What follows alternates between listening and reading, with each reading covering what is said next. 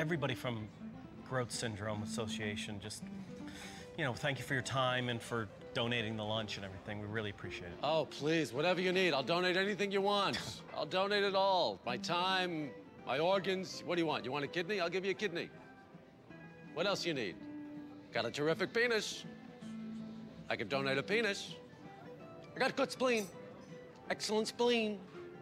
Mr. Spleen gets rid of dirt and grime and grease in just a minute. Mr. Spleen will clean your whole house and everything that's in it. Mr. Spleen, if you change Mr. to Monsieur, say Monsieur Spleen, and you'll think that the commercial was Mr. Monsieur Clean, Monsieur Clean. Well, it's a devastating illness, and we just appreciate everything you've done. Never really heard of it. What is it called? Groat's Syndrome. And what does it do?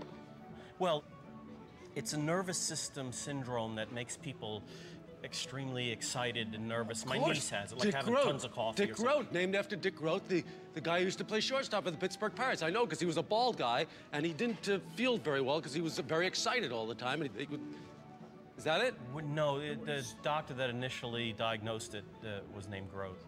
You sure it wasn't Dick Groat? Yeah, I'm pretty sure. Dr. Groat might be Dick Groat's father, for all we know.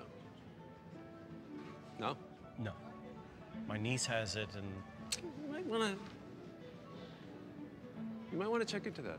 So he's wearing this skimpy kind of speedo bathing suit. His boys are hanging out all over the place. I'm not going back there. No way. I can't. Would you? to the beach? No, to the therapist. Yours will be ready in just a few minutes, sir.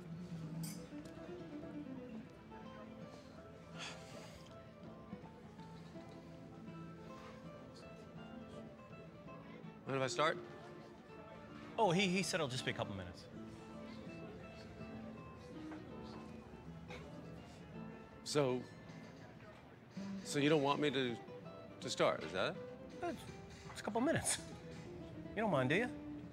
I just think it's, it's kind of weird. I mean, if you got your food come first, I would say go ahead and start. I don't. What do I care? Well, I would wait for you to get yours. I really wouldn't want you to wait. I'd be uncomfortable if you waited. Well, I'd feel it would be polite to wait for your food to arrive. I think it's kind of impolite to prevent a person who's hungry from eating. yeah, but we're supposed to be having lunch together. I mean, that, well, we that's are what I having bought. lunch. What's the difference? Do we have to start at the exact same time? I don't get that. Well, I, I don't see why you can't wait two seconds for your cold sandwich. It's not like it's even hot. Well, I don't see why you care if I take a bite of my food. How does that bother you? Because we're having lunch together. So what? The two of us.